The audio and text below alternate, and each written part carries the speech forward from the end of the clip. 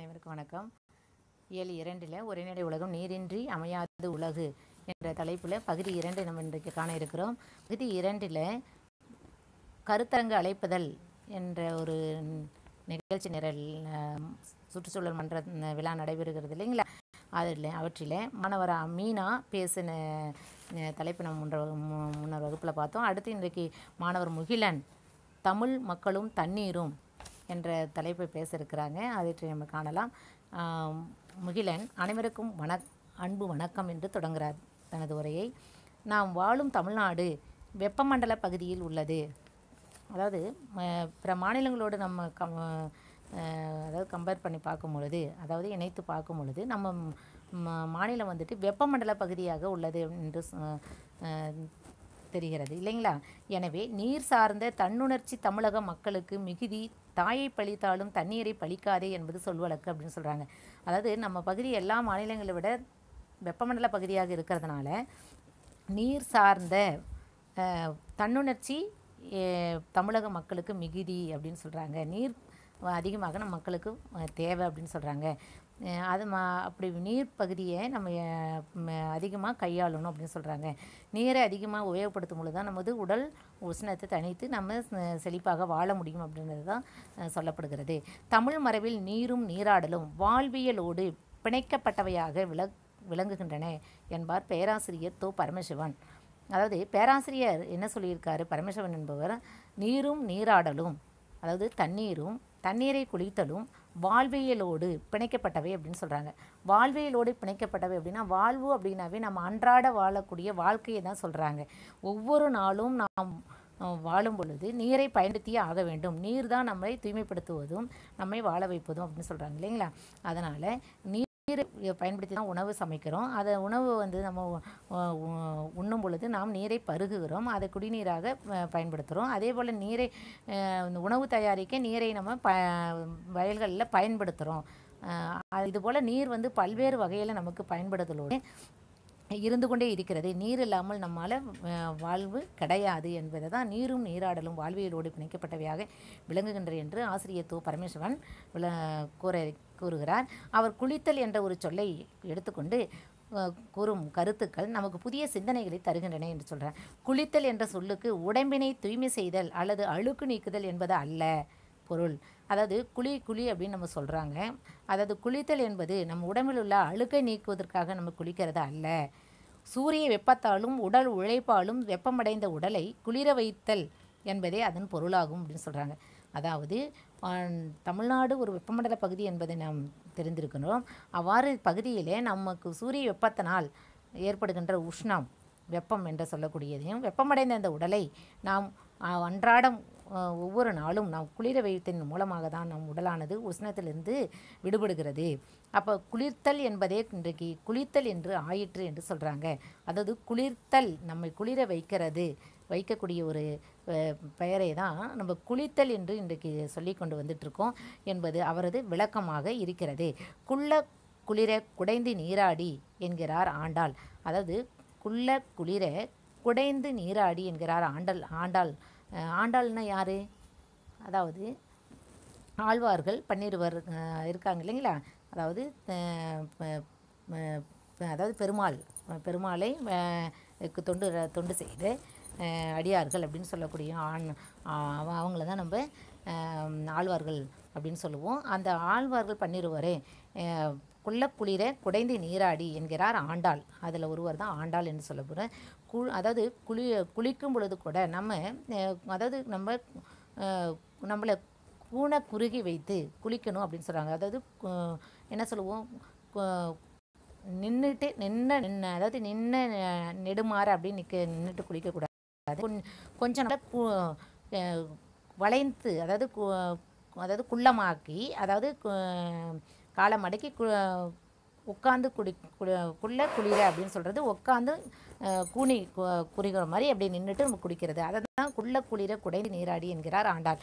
தெய்வச்சலைகளை குளிர்க்க வைப்பதை திருமஞ்சனம் ஆடல் என்று கூறுவர். இவ்வாறு அப்படி குளிர்க்க வைக்கும் பொழுது தான் அந்த உடல் குளிரச் செய்கிறது அப்படின்னு சொல்கிறாங்க அப்போ தான் உடல் பகுதி அனைத்தும் நீராடல் முழுமைப்படுகிறது அப்படின்னு சொல்கிறாங்க அப்படி நீராடுவதை தான் தெய்வங்களுக்கே கூட நீராட வைக்க வைக்கிறார்கள் அப்படின்னு சொல்லுவாங்க. அப்படி தெய்வம் தெய்வங்களுக்கு நீராடுவதை கூட வெளிப்படையாக ஒவ்வொரு நேரமும் வந்து காலை மாலை என்ற நேரத்துங்களில் அர்ச்சனை ஆராதனை இதெல்லாம் நம்ம செய்கிறாங்க அதில் வந்து அபிஷேகம் அப்படின்னு சொல்லக்கூடியது வந்து தெய்வத்துக்கே கூட குளிர வைக்கக்கூடிய ஒரு விஷயம் அப்படின்னு சொல்கிறாங்க அதில் இன்னும் பார்த்தீங்கன்னா ஆடி மாத விழாக்களில் பார்த்தீங்கன்னா இப்போ பதினெட்டாம் போ ஆடி ஒன்றிலிருந்து ஆடி பதினெட்டு நாட்கள் முடிந்த பிறகு பதினெட்டாவது நாள் என்பது இறைவன் இறை ஆலயங்களில் இறை ஆலயங்களில் உள்ள அனைத்து சிலையையும் கொண்டு சென்று அதாவது குளம் போன்ற பகுதியிலும் ஏரிகள் போன்ற பகுதிகளெல்லாம் நீராடி வருவாங்க. தெய்வ சிலைகளை கொண்டு கொண்டு சென்று அதை நீராடி வ- வருவாங்க. அதெல்லாம் வந்து எதற்காக அப்படின்னு சொன்னால் அது இறைவனுக்கும் அது பொருந்தும் அப்படின்றதுக்காக தான். உயிரூட்டப்பட்ட இறைசக்தி ஆற்றல் கொண்ட அந்த படைப்புகள் உயிருடன் வாழ்ந்து கொண்டு இருக்கிறதா உயிருடன் இருந்து உயிர்ப்பித்து உயிரினங்களுக்கு உதவுவதாகத்தான் அர்த்தம் இல்லைங்களா? அதனால தான் அவைகளும் குளிரூட்டப்படுக குளிரூட்டப்படு பட வேண்டும் என்பதற்காக தான் ஆடி பதினெட்டாம் கா கால பதினெட்டாம் காலங்களில் அனைத்து ஆலயங்களில் இருக்கக்கூடிய சிலைகளையும் கொண்டு சென்று குளிப்பாட்டுவது வழக்கமாக இன்றைய காலத்திலும் இருந்து வருகிறது. சிற்றிலக்கியமாகிய பிள்ளைத்தமிழில் நீராடல் பருவம் என்று ஒரு பருவம் உண்டு. அதாவது பத்து பருவம் இருக்கிறது. இல்லைங்களா? சிற்றிலக்கியமாக பிள்ளை தமிழில் பத்து பருவம். அதில் நீராடல் பருவம் என்று ஒன்- ஒரு பருவம் உண்டு. அது நாட்டுப்புற தெய்வ கோவில்களில் சாமியாடிகளுக்கு மஞ்சள் நீர் கொடுத்து அருந் அருந்த செய்வதும் நீராட்டுவதும் இப்போதும் நடைமுறையில் உள்ளன அப்படின்னு சொல்கிறாங்க சரிங்களா? அதாவது சிற்றிலக்கியம் வந்து தொண்ணூற்றாறு சிற்றிலக்கிய நூல்கள் அப்படின்னு சொல்லணும் அதில் வந்து பிள்ளைத்தமிழில் நீராடல் பருவம் அப்படின்னு வரும். மற்ற மூன்று மூன்று மட்டும் ஆண்களுக்கும் பெண்களுக்கும் பொதுவானது. மற்றது பெண்களுக்கு தனியாகவும் ஆண்களுக்கு தனியாகவும் உள்ள ப பருவங்கள் ஏழு இருக்கிறது இல்லைங்களா? அதில் பிள்ளைத்தமிழ் நீராடல் பருவம் என்ற ஒரு பருவம் நாட்டுப்புற தெய்வ கோவில்களில் சாமியாடிகளுக்கு மஞ்சள் நீர் கொடுத்து அருந்து செய்வதும் நீராட்டுவதும் இப்போதும் நடைமுறையில் உள்ளன. அதாவது இறை விழாக்கள் விழா காலங்களில் திருவிழா காலங்களே நீ பார்த்துக்கலாம். அதில் வந்துட்டு ஊர் திருவிழா தெய்வ திருவிழா ஊர் திருவிழா நடைபெறுகிறது அப்படின்னு பார்த்தீங்கன்னா அதுக்கு அடுத்த நாள் வந்துட்டு இறுதி நாட்களில் மஞ்சள் நீராட்டு விழா என்று ஒன்று நடைபெறும். அதில் வந்து பார்த்திங்கன்னா இறைவனுக்கும் கூட மஞ்சள் கலந்த நீரை ஊற்றுவாங்க. அது மக்களும் ஊற்றி மகிழ்ந்து கொண்டாடி வருவாங்க. இந்த மாதிரி விழாக்கள்லாம் என் மஞ்சள் நீர் ஆட்டு விழா அப்படின்னு சொல்கிறது இதுதான் பெண் ம், சிற்று பிள்ளை தமிழில் நீராடல் பருவம் என்று பெண்களுக்கு உரியது அப்படின்னு சொல்கிறாங்க இதில் அதுக்கடுத்து திருமணம் முடிந்த பின் அதன் தொடர்ச்சியாய் கடலாடுதல் என்பதை மேற்கொள்ளும் வழக்கமும் தமிழகத்தில் நிலவுகிறது.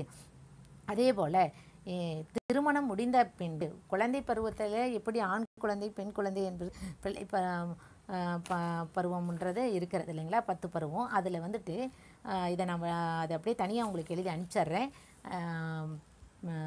இதில் திருமணம் முடிந்த பின் அதன் தொடர்ச்சி கடலாடுதல் என்பதை மேற்கொள்ளும் வழக்கமும் தமிழகத்தில் நிலவுகிறது அப்படின்னு சொல்கிறாங்க இறப்பு சடங்கிலும் உடலை நீராட்டுவதற்காக நீர் மாலை எடுத்து வருதல் என்பதும் நடைமுறையில் உள்ளது.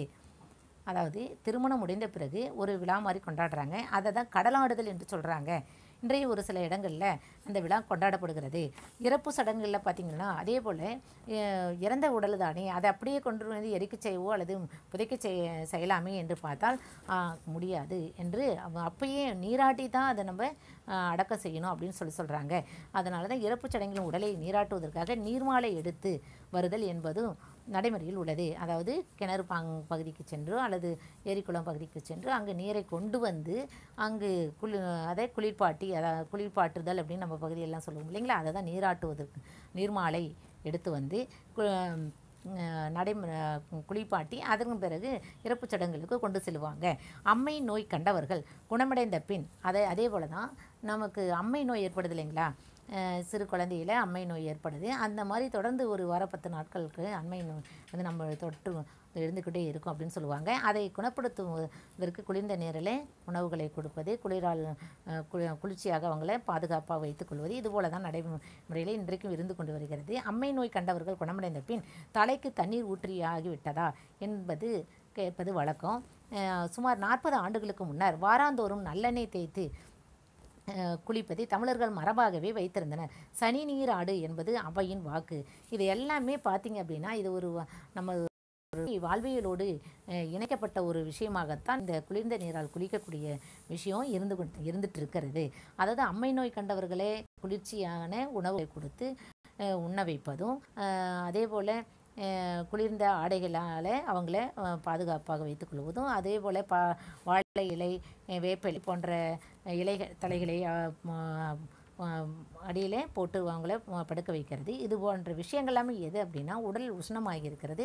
அதை கூலாக அதாவது கு- என்பது தான் அதனால தான் சுமார் நாற்பது ஆண்டுகளுக்கு முன்னர் வாராந்தோறும் நல்லெண்ணெய் தேய்த்து குளிப்பதை தமிழர்கள் மரபாகவே வைத்திருந்தனர் அப்படின்னு சொல்கிறாங்க அதாவது வாரம் ஒரு தரம் கட்டாயம் நல்லெண்ணெய் தேய்த்து குளித்தே ஆக வேண்டும். அப்போது தான் உடல் இருக்கக்கூடிய உஷ்ணமானது தனியும் அப்படின்னு சொல்கிறாங்க இதை தான் சனி நீராடு என்று அவையை யாரே சொல்லியிருக்காங்க. அதிக கால அதே அதே போல் அதிகாலையில் வேளாண் நிலத்திற்கு உழைக்க செல்வோர் நீராகாரம் குடிப்பார்கள்.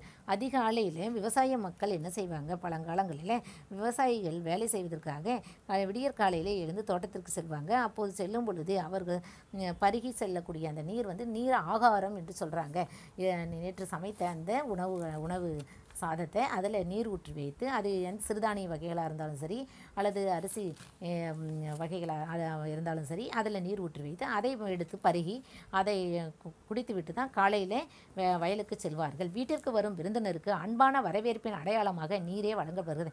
அதை தொன்று தொ அதை வைத்து கொண்டு தான் இன்றைக்கு வீட்டிற்கு வருகின்ற மக்களுக்கு நன்னீரை கொடுத்து அதாவது நீரை கொடுத்து பருக வைத்து அவர்களை வரவேற்பது அப்படின்னு சொல்கிறாங்க இவ்வாறு தமிழக மக்களின் குடும்பம் தொடங்கி சமூகம் வரை அனைத்திலும் தண்ணீர் முதன்மை பங்காற்றுகிறது என்று கூறி முகிலன் விடைபெறுகிறான். நன்றி வணக்கம் என்று சொல்லிக்கொண்டு முகிலன் விடைபெறுகிறான்.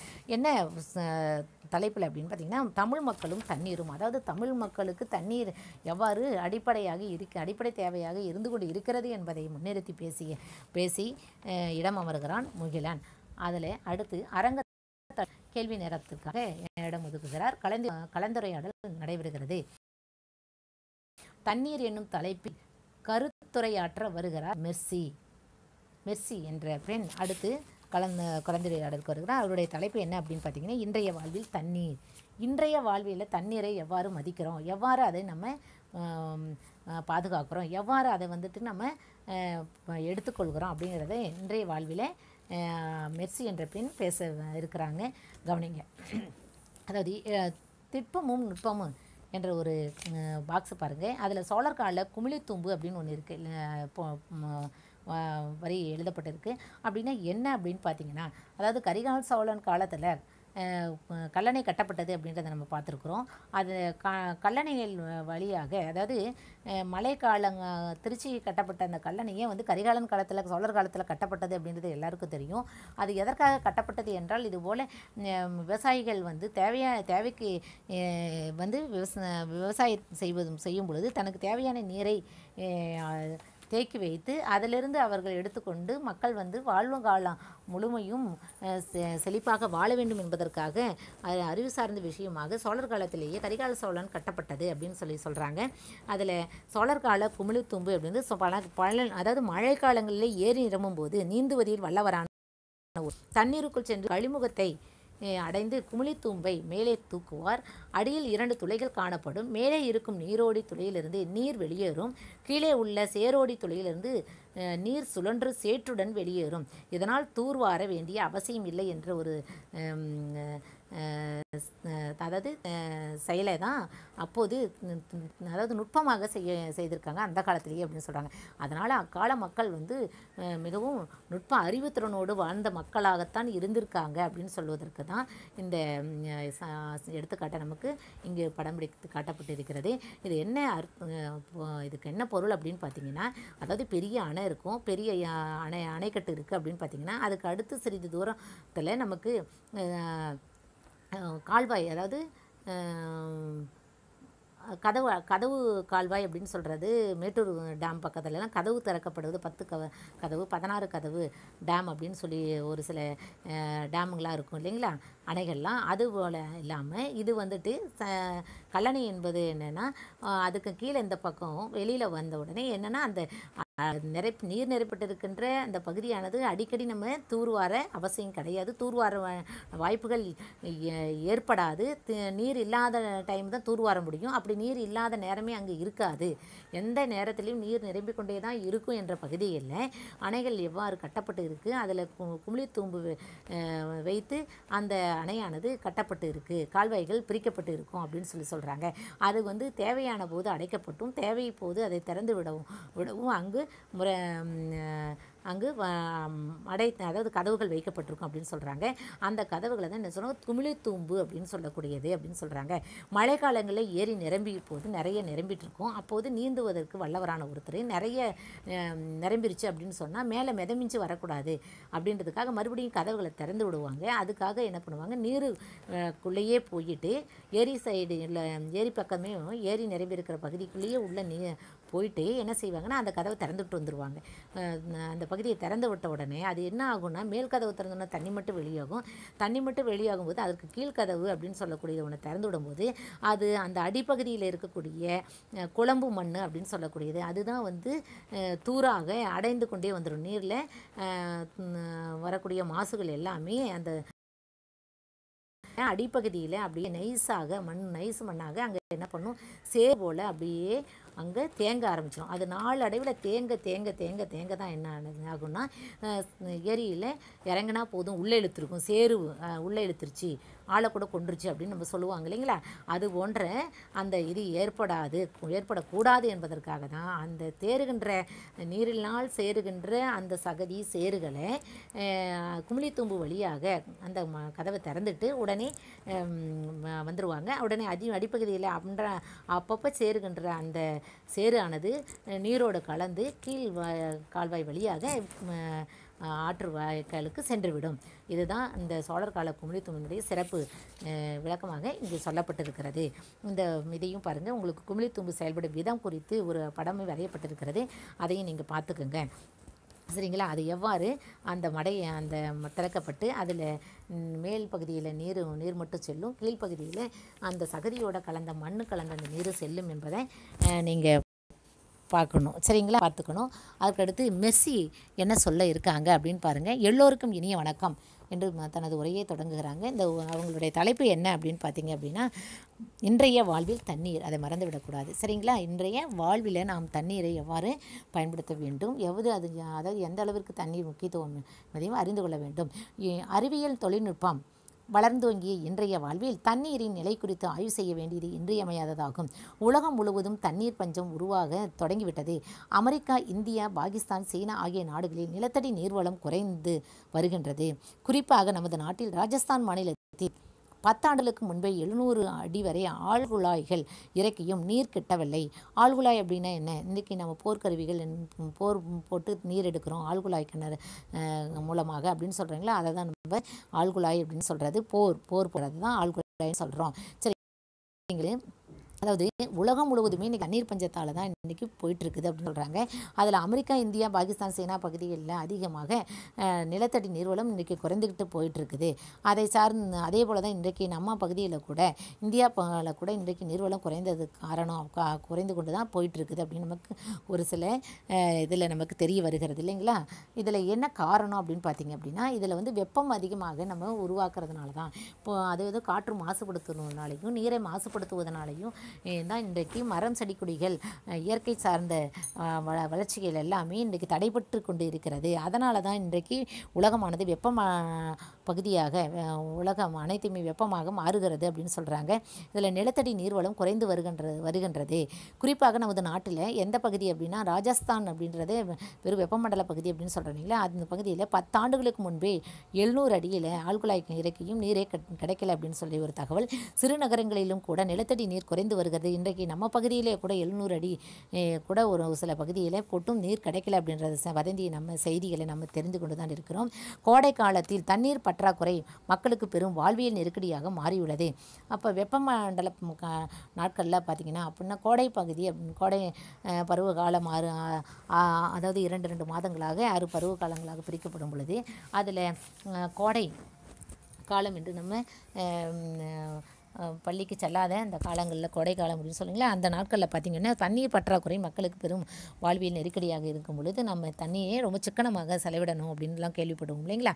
அதை தான் சொல்கிறாங்க அதில் வந்துட்டு என்ன இப்போ இப்போ தற்போது கூட நீங்கள் பார்த்தீங்க அப்படின்னு சொன்னீங்கன்னா இப்போ நமக்கு குவாரண்டைன் இந்த பீரியடில் கூட அதிகமாக இன்றைக்கி போக்குவரத்து வாகன போக்குவரத்துலாம் இல்லாமல் புகை இல்லாமல் இன்றைக்கி காற்று மாசுபடாமல் இருக்கிறதுனால தான் இன்றைக்கு கோடை பகுதி நாட்களில் கூட நமக்கு அடிக்கடி மழை பெய்து கொண்டு இருக்கிறது. இதுவே சென்ற ஆண்டுகள்லாம் நீங்கள் கணக்கிடும் பொழுது இந்த மழையானது குறைந்த அளவாகத்தான் இருந்திருக்கும் இந்த கோடை நாட்களில் அப்படின்றத நமக்கு அனுபவ வாயிலாக நம்ம அறிந்திருக்கிறோம். உலக சுகாதார நிறுவனம் அடுத்து கவனிங்க உலக சுகாதார நிறுவனம் உலகம் விரைவில் குடிநீருக்கான கடும் சிக்கலை எதிர்கொள்ளும் என எச்சரிக்கிறது எச்சரிக்கிறது என்று மெர்சி சொ சொல்கிறாங்க குடிநீரை விலை கொடுத்து வாங்கும் அவலம் தொடரும் நிலையை மாற்றி அமைக்க திட்டமிட வேண்டியது உடனடி தேவையாகும். ஆண்டுதோறும் பெய்கின்ற மழை பொழிவை ஆக்க நிலையில் பயன்படுத்தும் செயல் திட்டத்தை நாம் உருவாக்க வேண்டும். அதாவது ஆண்டுதோறும் பருவகாலங்களுக்கு ஏற்ப மழை பெய்யக்கூடிய அந்த பருவகாலத்தை நாம் எப்போதுமே உருவாக்க உருவாக்குவதற்கு முயற்சி செய்ய வேண்டும் அப்படின்னு சொல்கிறாங்க மழை பொழிவை நாம் ஆக்கநிலைப்படுத்த வேண்டும். அதற்கு நாம் உறுதுணையாக இருக்கு மழை பொழிவதற்கு உறுதுணையாக இருக்க வேண்டும் அப்படின்னு சொல்கிறாங்க அப்போ அறிவியல் அணுகுமுறையில் மழைநீரை தேக்கி வைத்து பாசனத்திற்கு பயன்படுத்த ஊர்தோறும் ஏரிகளை உருவாக்கினர். அதனால தான் அறிவியல் அணுகுமுறையில் மழைநீரை இன்றைக்கு ஒவ்வொரு வீடுகளிலையும் நீர்த்தேக்க தொட்டி என்று கட்டப்பட்டு நீர் தே சேமித்து வைக்கணும் அப்படின்னு சொல்கிறாங்க ஊர்தோறும் ஏரிகளை உருவாக்கணும். தூர்வாரணி தூர்வாரி அதை நம்ம பாதுகாப்பாக நீர்களை சேமி நீரை சேமிக்கணும் அப்படின்னு சொல்கிறாங்க அவற்றை தூர்வார வாரி முறையாக பராமரிப்பு பணிகளை செய்தல் வேண்டும். இதை ஒரு மக்கள் இயக்கமாக மழை காலத்திற்கு முன்பே செய்ய வேண்டும் என்பது மெர்சியோட கரு கருத்தாக மெர்சி பேசி கொண்டிருக்கிறார் இயற்கை நமக்கு தரும் தண்ணீர் கொடையை திட்டமிட்டு பயன்படுத்தவே பயன்படுத்துவதே நீர் தட்டுப்பாட்டை எதிர்கொள்ளும் சிறந்த வழியாகும் என்பதை கூறி நிறைவு செய்கிறேன். வணக்கம் என்று முடிக்கிறார். இயற்கை மக் தான் மக்களுக்கு அதாவது இயற்கை தான் மக்களுக்கு கொடுக்க அதாவது வாழ்வுக்கு வரப்பிரசாதம் அப்படின்னு சொல்வது போல நமக்கு தரும் தண்ணீர் கொடை திட்டமிட்டு பயன்படுத்துவதே நீர் தட்டுப்பாட்டை எதிர்கொள்ளும் சிறந்த வழி என்று சொன்னார். அதாவது இயற்கையே நம்ம அஹ், பாதுகாக்கணும் அப்படின்னு சொல்கிறது தான் அது பாதுகாக்கணும் இ- மரம் செடிகளை வளர்க்கணும் மழை பெறும் மழை பொழியும் காலங்களில் மழைநீரை சேகரிக்கணும். மழைநீரை முறையாக சே சேகரித்து அதை மீண்டும் மண்ணுக்குள் செலு செல்வதற்கான வழிமுறைகளை ஏற்பாடு செய்ய வேண்டும். அவ்வாறு நாம் இ- இயற்கைக்கு உறுதுணையாக இருந்தோம் என்றால்தான் நீர்வளம் குன்றாமல் எப்போதும் செழிப்பாக நம் நாடு இருக்கும் அப்படின்றத தான் மெர்சி முன்வைத்திருக்கிறார். இதுவரை